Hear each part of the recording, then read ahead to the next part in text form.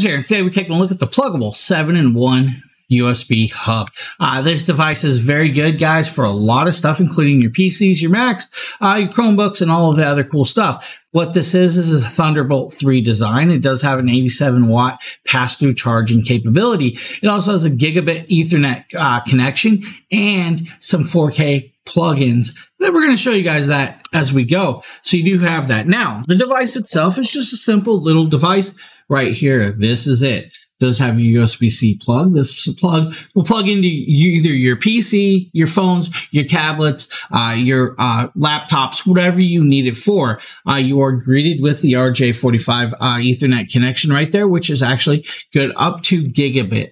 Uh, so you do have the one the gigabit design. Now, you have a lot of cool stuff on here that we're going to actually show you guys right here.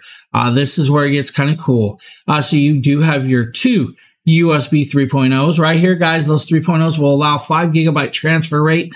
Uh, you do have a USB C plug here. This USB C plug will allow for 87 watts of charging capability to go both ways. Uh, pretty much so you can charge your device while using it, which is quite cool while using that port. You are then greeted with a micro SD card and an SD card slot.